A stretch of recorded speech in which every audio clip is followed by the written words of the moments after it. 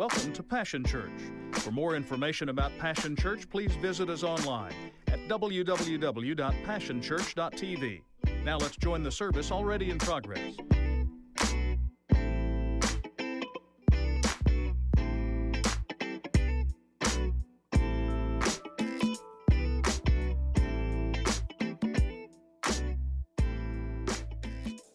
Good morning, Passion family. How are you today?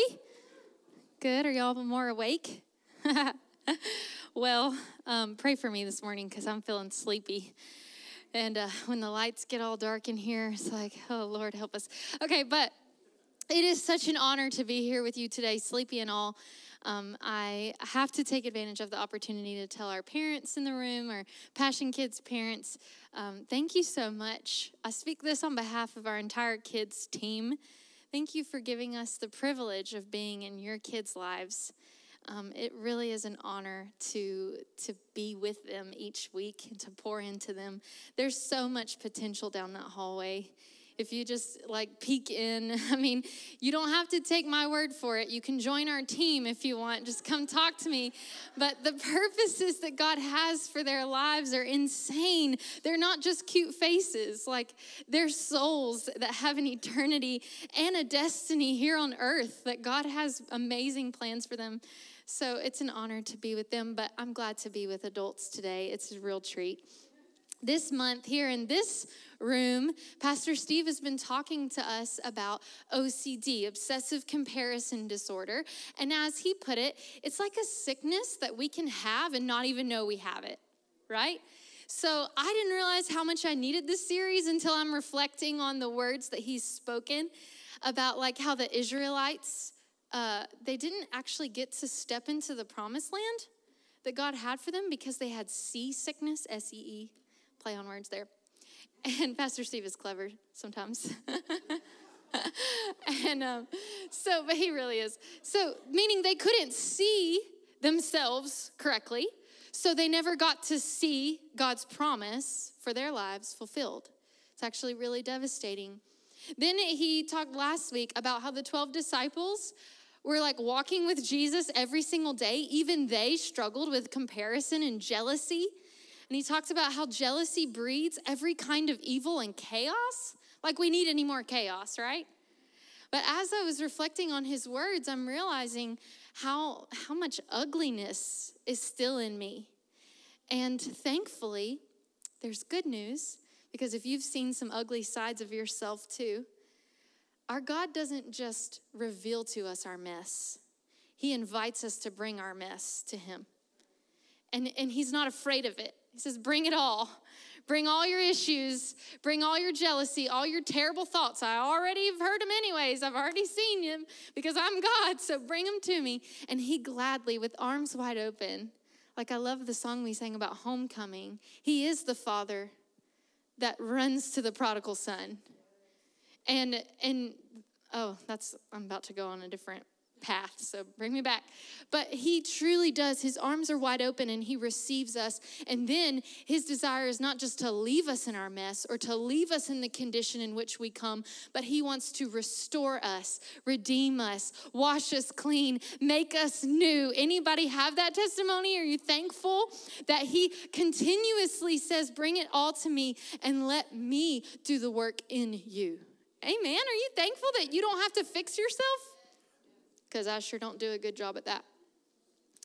Something I want us to see this morning as we conclude this series is that obsessive comparison disorder that also comes with bondage to anger, to fear, to insecurity, to jealousy and bitterness. It's not just a sickness that we have to put up with, y'all.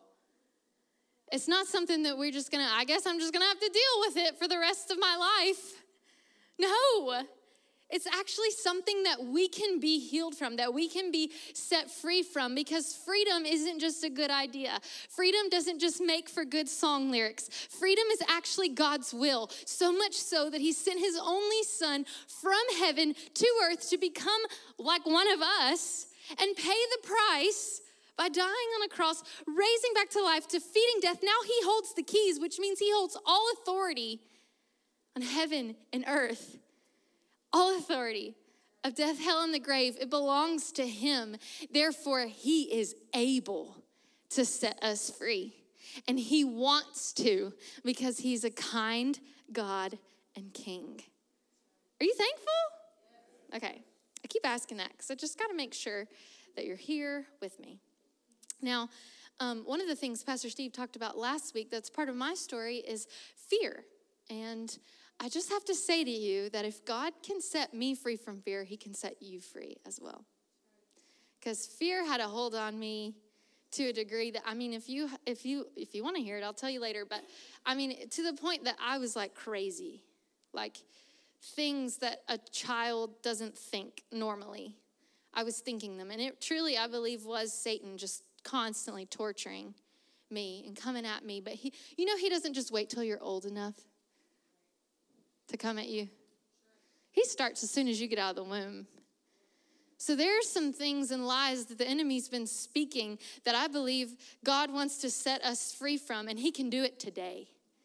And one, I don't understand all the ways in which God works, but I do know that there's something powerful that happens when God speaks. For this same God that spoke the universe into existence is still the same God today. And he's still speaking today. He's speaking through his people, he's speaking through his spirit, and he's speaking through his word. So let's go there, shall we? We're going to look at his word together, and hopefully, you're believing with me that God wants to speak to you and wants to do a good work in you, setting you free this morning. But if you don't believe it for yourself, I'm believing it for you. So don't worry. We're going to be looking in Judges chapter 6, the story found in this chapter actually belongs to a guy named Gideon. So, for those of our uh, Okie cowboys, if there are any in the room, I did not say giddy up. I said Gideon. Gideon is his name. I know it's cheesy, but I had to. So, we're going to read starting in verse 11. The angel of the Lord came and sat down under the oak in Ophir that belonged to Joash the Abiezrite, where his son Gideon was threshing wheat in a wine press to keep it from the Midianites. So hold up. Where was Gideon? In a wine press. What was he doing? Huh. Now, that's an interesting detail that we need to notice, and I'll get there here in a second. But do we have anybody in the room that's ever threshed wheat before? Okay, just got to make sure that I don't make myself look like an idiot here because I have never done it either. However, um, I'm thankful for those who thresh wheat. Anybody else like bread? I'm thinking of um, Olive Garden breadsticks right about now. Sorry, I just made your mouth water. But, anyways, wheat threshers, I don't believe that they thresh wheat in a wine press, right? So, this detail reveals to us that Gideon was actually in hiding.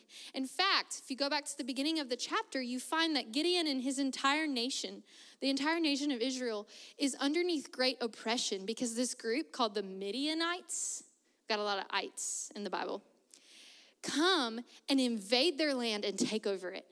In fact, everything that belonged to the Israelites, the Midianites either stole it or destroyed it. So this would be like in a, in a modern day context that maybe we could imagine putting ourselves in his shoes. This would be like a group like ISIS coming to Oklahoma City and just taking over it. And we wouldn't have access to Walmart. Therefore, we wouldn't have access to food. Now, that sounds silly, but I mean, like, to the point that you're so afraid for your life that you don't leave, you don't, you're just hiding at all times.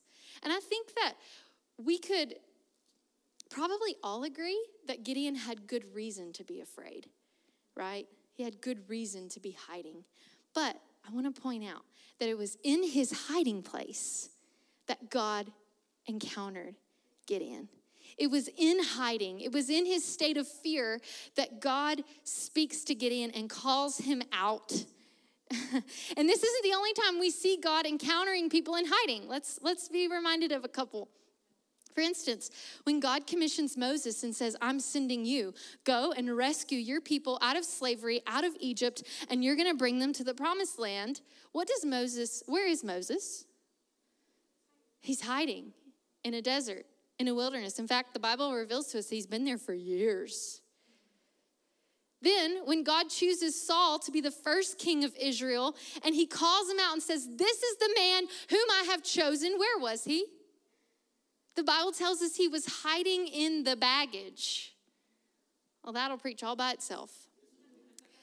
Um, but that is that is what God has been doing and is still doing. That He finds us because He sees us, and He doesn't want to just leave us in this state of oppression or fear or hiding. Because we may not have Midianites chasing us, but we have an enemy whose name is Satan, and he's constantly at work. If you ask our kids in the elementary room, they will tell you he comes to steal, kill and destroy because he he's always working to do that. It is his desire that we live in hiding. It is his desire that we live underneath oppression. It is his desire that we live in fear. Yet the same god that called gideon out back then i believe is calling some of us out today. And he's saying stop hiding from me. I already see you. I already know you and i can't love you anymore than i already do. So come out and hide in me for for he is like a mother hen, as described in Psalm 91, that wants to cover us underneath his wings. Now, I'm a little afraid of chickens, but because they're kind of fierce, like a, a mama chicken, a mama anything, a mama bear, a mama I may be scrawny, but don't come at my daughter. For real, like God, he, he is He, right? He's a good father, but He also, because He made man and women in His image, He has motherly traits, and you don't come at His children. And He's constantly calling us out and saying, Why don't you come hide in me? David says in Psalm 91, in my, or, oh, wrong one. The Lord is my refuge and my fortress. He's my hiding place. He's my God in whom I trust. Anybody thankful God sees you this morning? Also, at the beginning of this chapter, and then we'll keep reading, I got to give a little more context. We find that the reason the Israelites are in this situation in the first place is because of their own decisions and their own actions. They chose to rebel against God. They thought they knew better. Therefore, this removed them from underneath his protection. This is relatable to us because anybody ever decided that you thought you knew better than God? And then all chaos broke out? Right? Anytime we think that we know we should decide where the boundary lines fall, anytime we think that our feelings are more, trustworthy than His word, we're actually removing ourselves from underneath the protection of our God and becoming vulnerable, therefore, to the attacks of the enemy in our lives.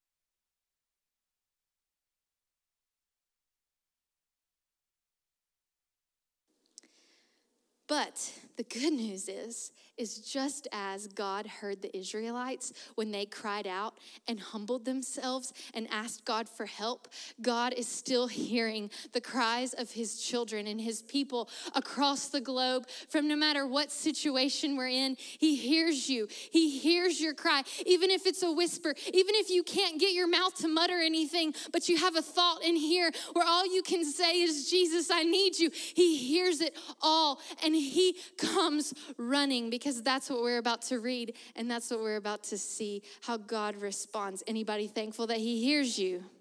He sees you and He hears you. Now, let's keep reading. If you haven't already, go ahead and buckle up. Verse 12 When the angel of the Lord appeared to Gideon, he said, The Lord is with you, mighty warrior. Excuse me, my Lord, Gideon replied. But if the Lord is with us, why has all this happened to us? Where are all his wonders that our ancestors told us about when, um, when they said, Did not the Lord bring us up out of Egypt? But now the Lord has abandoned us and given us into the hand of Midian. Verse 14 The Lord returned to him and said, Go in the strength you have and save Israel out of Midian's hand. Am I not sending you?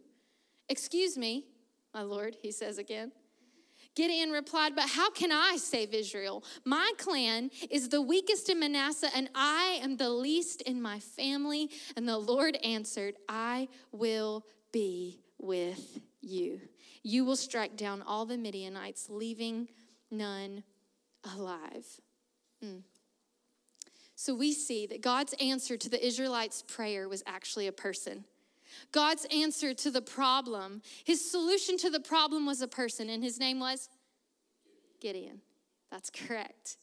But we see that God not only hears our cries for help, he hears theirs. He hears them. Who's them? Everyone in the world that's hurting, that's broken, that's hungry for hope, for truth. He's hearing their cries. And y'all, the solution to the problems that we see, the answers to the prayers that are being heard, what if it could be you? What if God is wanting to use you to bring revival to a city, to light up the dark places? In the world? What if God's wanting to use you to take the gospel to an unreached tribe? What if God is wanting to use you to bring salvation and hope to your lost family members? You could be the answer. I believe God is wanting us to be the answer to other people's prayers. But we, like Gideon, get in our own way. Y'all, we get in our heads way too much. We, like Gideon, compare ourselves to our family members. We compare ourselves to our coworkers. We compare ourselves to people on social media that we don't even know. Y'all, we compare ourselves to ourselves. But what does that mean? That means that we will compare our past self to our present self and sometimes not even recognize it. Let's see if I can, if, if anybody else has thought this before.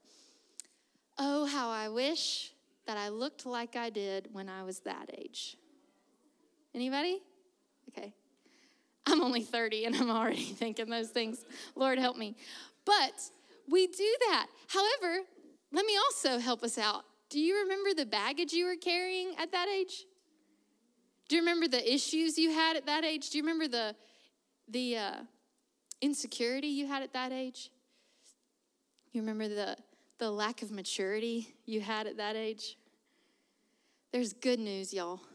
Bad news is, is we're going to age and we're gonna look different and we're not gonna like it all. The good news is, is that if you age with Jesus, meaning you choose to walk with him from this day forward, then you can know that with age doesn't just come wrinkles, it comes wisdom. With age, we gain more security in him, we gain more healing, we gain more freedom, and we gain more intimacy with Christ. And I would rather have him with me today than go back to yesteryears. It's time that we were that we were content with today, with this new day where his mercy and grace is is new and it's enough, right? So, your insecurities and your insufficiencies are not an obstacle for God. But if we'll let them, they can be an obstacle for us, keeping us from saying yes to God and choosing to put our trust in Him. So let's let's learn from Gideon a little bit. What does he say to the angel in verse 15? He says, "Excuse me, are you sure? How can I save Israel? My clan is the weakest in Manasseh, and I'm the least of my entire family. Did you, did you know that, God? And, and his response was it, oh, yeah, yeah, I forgot. I'm, I can't use you because you're not very well liked and you're not really looked up to at all. So I'll just, I'm going to go find somebody else. Thank you. No, God says, you are a mighty warrior. You know, God sees your future self. So he sees exactly what you are capable of. He sees your potential and he calls us out. I believe he's doing that this morning within this body. He's wanting to call us out and he's wanting to remind you that yes, you're weak, but he is strong and he that is in you is greater than he that is in the world. So you are an overcomer. You are a mighty warrior. Your prayers are heard by God. You are capable of bringing hope and salvation to others. Regardless, you don't need a stage to do it. You don't have to be an eloquent speaker. You don't have to have a lot of money. You don't have to have any followers on social media. You just got to be willing. you got to be willing to choose to trust Him rather than trust you. Right? And God has a knack. I've learned this by looking back at my own life as April was encouraging us to remember God's faithfulness in our past. That God has, a, has the ability, even if you're from the backwoods in the middle of nowhere with no experience and lacking a whole lot of knowledge, it doesn't limit God from choosing you. And he has a knack for choosing people who are hiding in caves and calling the weakest and those with really low self esteem mighty warriors before we ever really see what we're made of. Hallelujah. So let's get back to the story. I want us to notice something else. It's found in verse 13. And it reveals to us that Gideon not only compared himself to others, but he also compared his situation to others to that of his ancestors because he said, Excuse me, if God is with us, how come he isn't moving the way he did for my people back in their day? And I believe that God is wanting to say to some of us in this body that we got to stop comparing not just ourselves to other people, but our situations to other people. Because just just because God is doing miracles for them and moving for them does not mean that He's not doing miracles for you and moving for you. Maybe He's just doing it in a different kind of way. And His timing is perfect, doesn't always line up with ours, with our idea of good timing. And the angel responded to Gideon. Does anybody remember what he said? The Lord is with you. I'll help you out. Everybody say that. The Lord is with you. That means that his presence is not only Gideon's promise, his presence is our promise too. Because if you remember, when Jesus was on the earth, he said something pretty similar. Right before he ascended back into heaven, he told those who were with him, he said, Go and make disciples of all nations, baptizing them in the name of the Father, Son, and Holy Spirit, teaching them to obey all the commands that I have given to you. And I am with you always. It's not God's desire for us to walk alone, and it's definitely not his desire for us to do anything without him.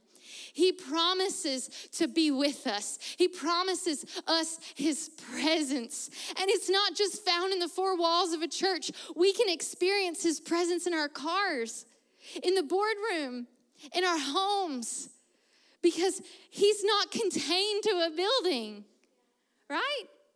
When Jesus died, the Bible reveals to us that the curtain that separated the people from the presence of God was literally just split in two. And this isn't a shower curtain, y'all. This is like a really thick, ginormous curtain, almost like a, a, she, a sheetrock wall. And it just on its own split now, God didn't have to do that, but what He's doing is He's speaking a message to His people, not just then, but to us because it was written down.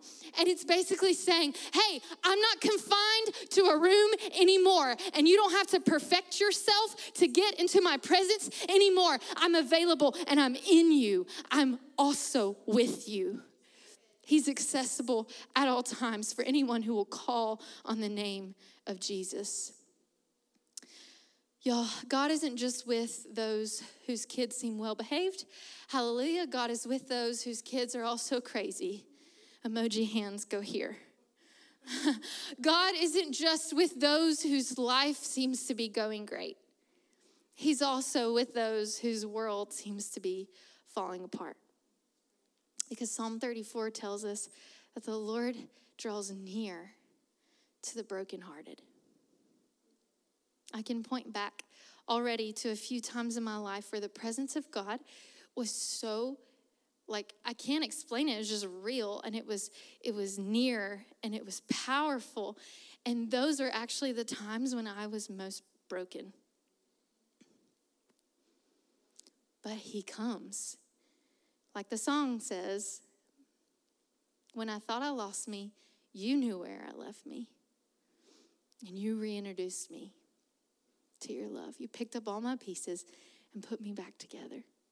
You're the defender of my heart. He doesn't just see you, He doesn't just hear you, He comes running and He's with you. So help me preach to your neighbor. Find somebody near you and say, His presence is your promise. His presence is your promise. But y'all, it's not just their promise, it's your promise too. So if you need to say this out loud, say, His presence is my promise. it is. But there's also another promise. So we're going to read two more verses. Skip down to verse 22. When Gideon realized that it was the angel of the Lord, he exclaimed, Alas, sovereign Lord, I have seen the angel of the Lord face to face. But the Lord said to him, Peace. Everybody say, Peace. Do not be afraid. You are not going to die. So Gideon built an altar to the Lord there and called it, The Lord is Peace. I want you to notice something. Before Gideon ever gathered an army, before he went into a single battle, and before God led him to victory, which he did, by the way, spoiler alert, God actually did what he said he was going to do. Surprise! no, we shouldn't be surprised because God is a God who doesn't lie, He keeps His words.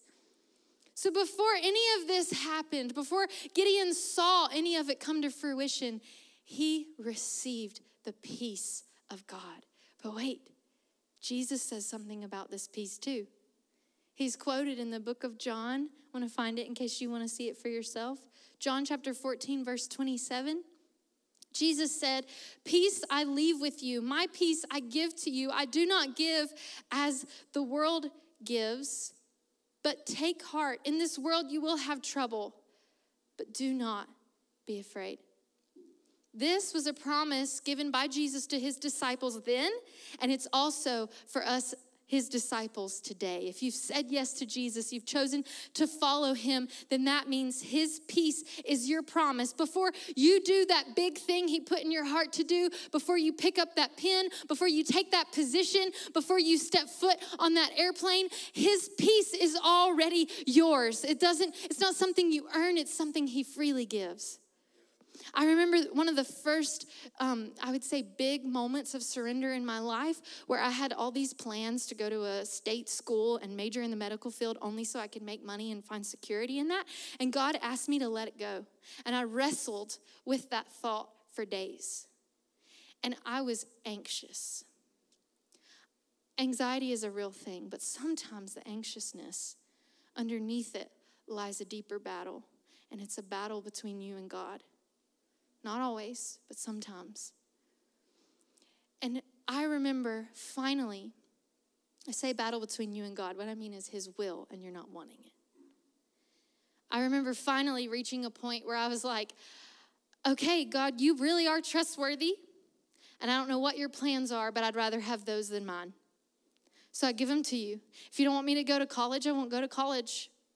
If you want me to go overseas, I don't know how I'm going to get there, but you'll make a way. So I just say yes to whatever.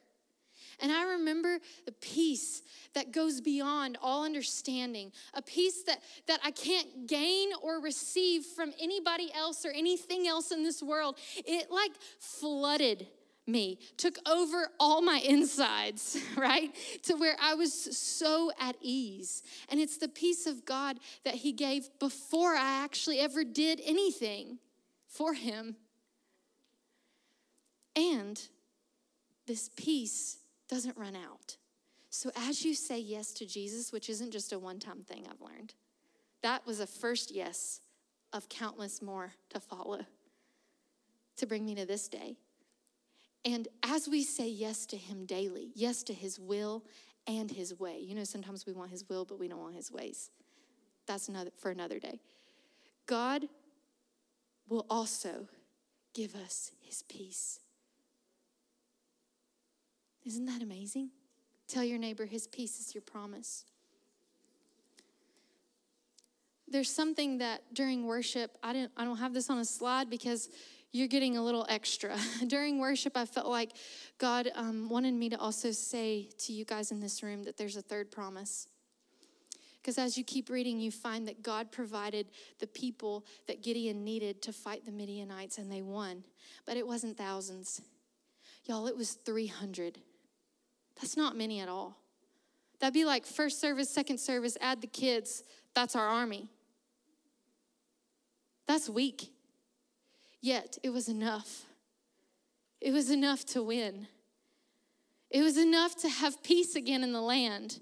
And the third thing that I believe God wanted to say to us this morning is that His provision is your promise. And it may not look like much, especially when you compare it to your neighbors and the people that you see on the screens.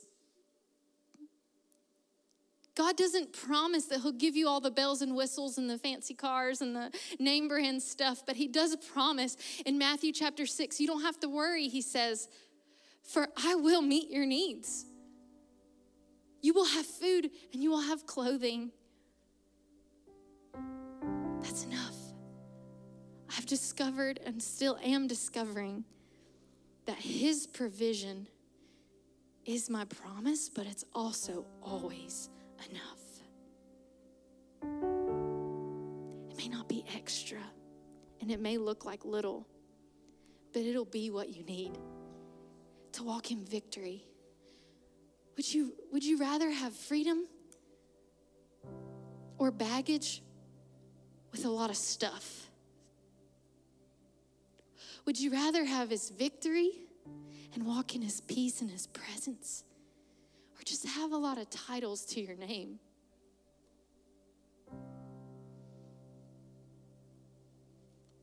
He has so much to give us. But we have a choice to make. I'll close with this thought. When I was praying for today and praying for us, God, I believe, reminded me of a memory from a few years ago where I was spending time with a friend who also happens to be a psychiatrist. And I was telling her how I feel like I'm always forgetting things. Like I make lists for my list, as my husband said. He likes to make fun of me for that because I do. I literally have list after list after list after list, and I keep a planner a physical planner, y'all. I carry it around because I need to. I, I just find myself forgetting all the time. And after she asked me a few questions, she said something that stuck with me, and I found it to be true. She said, I don't think you actually have a forgetting problem. Think you have a focus problem. And when God reminded me of that, it just all clicked that that also can apply to us spiritually. Where especially those of us who know the truth, right? Maybe you've already memorized some verses that God has said about you or to you. So maybe you don't have a forgetting problem. Maybe you have a focus problem. I believe that God is calling us to refocus. We're so busy. But what if God is wanting to establish some boundaries in our lives. People ask all the time, How are you? And a lot of times I hear, and I've been guilty of saying it many times, busy. I don't know if that's God's will. I think He wants us to be able to say, I'm at peace. Walking in His presence. I'm not saying that needs to be your response now, become puppets. No, I'm saying that that busy Maybe, maybe God wants to reestablish how we do life and, and set up some boundaries. And, and you can seek Him for what those are, but taking a, a rest day each week is a good place to start because it's in the Ten Commandments. Or maybe God wants for us to put down our devices more and spend more time looking at things that are unseen, which is heaven and eternity. And He's still giving visions. He's still revealing himself. But we're too busy spending hours in front of a screen to look at our Maker. Or maybe He's going to ask you to stop scrolling so much and instead start sitting at His feet. So let me give you three things. If we want to fulfill His purposes, for our lives every day. And we want to take hold of the promises that we've heard this morning, the promises that we know He has spoken for His children. Then we got to do. I'll just give you three simple ones. One, when Gideon left the presence of God, God gave him a piece of instruction. He said, Go tear down the idols. What's an idol? For them, it was a statue that they worshiped. But an idol for us could be anything or anyone that you are choosing to trust in more than God or that you're giving more attention to than God. So we got to figure out what those are and put them back in their place, right? Number two, we got to stop worshiping just on Sundays and learn how to worship God as we drive to work, as, as we're at home. Maybe we need to be careful what we listen to and, and choose to, to let the Holy Spirit lead us in worship outside of this building. And then the third thing is, we got to take up the sword of the Spirit, which is the Word of God, and not just come expecting to hear the Word of God on a Sunday, but Monday through Saturday, read this out loud, pray this out loud, sing this out loud. If you don't know where to start, the book of Psalms is really relatable. You can read a gospel. I would suggest the Gospel of Mark. It's a good place to start, but if we would do that, y'all, we wouldn't have such a hard time focusing on the one that actually matters and the one that has everything we need and more. Would you stand with me, please? So, for just the next couple of minutes, I've asked April and Catherine to, to lead us, thank you, Josh, for joining, to lead us in and we're going to worship just for a couple minutes. And I want to encourage you to let the Holy Spirit lead you. In Ephesians chapter 6, it says, The battle is not against flesh and blood, the battle is actually against principalities and evil spirits in the spiritual realm. So if, if anybody here want to wreak havoc on the kingdom of darkness, anybody want to fulfill the purposes that God has for your life this week? Anybody want to see your lost family members get saved? then y'all, we got to remember that there's a battle going on. There's a battle going on that we can't see. And the only way that we're going to win or that we're going to see victory, not just for ourselves, but for the people in our lives, is if we focus on Him and we choose to tear down the idols, to worship Him every day, and to read His Word. So, Holy Spirit, I ask that in this moment you would begin to speak to us and give us strategies like you gave Gideon. You would show us the people that you want us to pay attention to, that you want us to seek help from.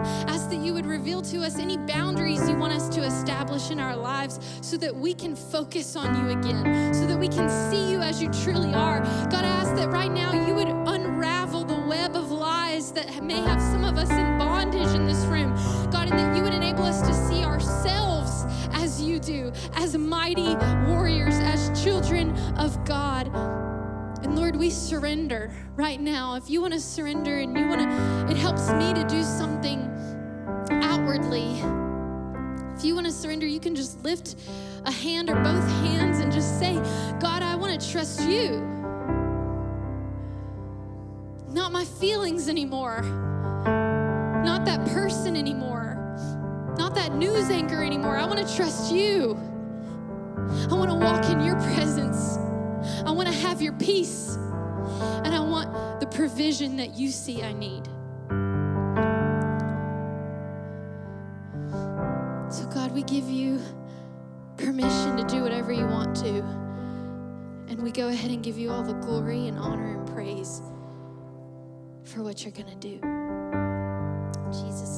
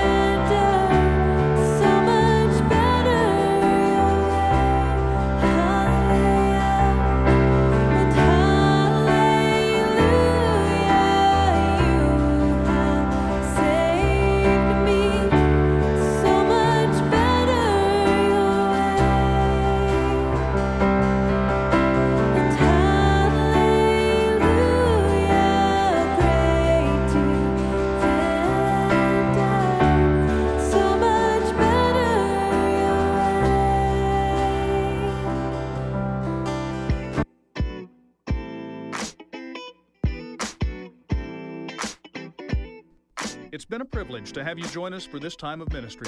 To find more Passion Church resources or to make a donation online, visit www.passionchurch.tv. Remember, you can't live without passion.